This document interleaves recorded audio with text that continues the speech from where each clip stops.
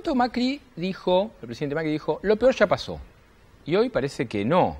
El ministro de Producción, el Flamante, dice, se vienen seis meses difíciles. ¿Dónde estamos parados? Bueno, creo que eh, en aquel momento de lo peor ya pasó, realmente había mucho de lo que se decía que no se veía, pero era verdad. Tenías una economía eh, con mucho vigor, creciendo al 3,5%, algunos meses creciendo al 4%, inclusive llegó a crecer el 5% allá por el momento de votar, digamos, por octubre del año pasado. De 14 sectores del consumo que nosotros monitoreamos, eh, tenías 12 creciendo fuerte, de ellos 11 a doble dígito, muy vinculado con bienes durables y servicios, turismo, inmuebles, autos, motos, camiones, electrodomésticos. Tenías un sector que venía tratando de reacomodarse, que era alimentos, que había tenido un 2016 muy difícil, el año pasado cayó un punto, este primer cuatrimestre del año estaba estable, y un sector que a lo largo de todo el proceso ha tenido una situación más compleja, que es el textil, de todas formas un 2017 mejor que el 2016. Cuando miras el primer cuatrimestre de este año, hasta los datos de abril eran muy parecidos a los del 2017. De hecho, la economía el primer trimestre, lo acaba de publicar hace muy poquito el INDEC, creció 3,5%. Ahora, todo eso que en ese momento parecía mediocre, que, eh, bueno, ¿cuándo arranca y qué sé yo?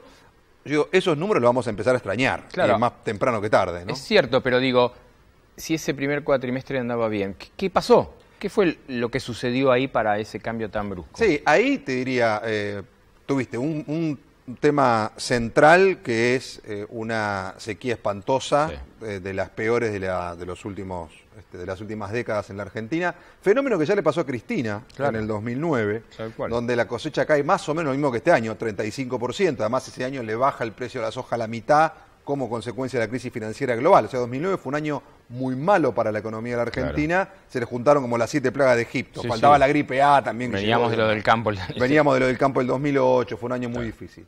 Bueno, este año el gobierno se le mezcla una sequía de, un orden similar que le cuesta más o menos 8 mil millones de dólares a la economía, junto con eh, una situación de, las políticas de Estados Unidos y las fragilidades que tenía la, exposición de la Argentina a eso. Todo eso junto en la vida cotidiana, lo que ¿qué ve la gente. La gente lo que ve es que el dólar pasó de 17 o 18 o 20 a, 25 primero y ese fue como el gran shock y luego termina en 28. Eso es lo que le impacta en su registro de cómo va, cómo va la cosa, ¿no? y, en algún punto yo digo que hay dos precios que los argentinos los ponen siempre muy nerviosos, el del dólar y el del asado. Este, cuando esos precios se mueven mucho, la sociedad se mueve. El asado estaba más o menos bien, el del dólar obviamente puso a todo el mundo muy, por lo menos, en alerta.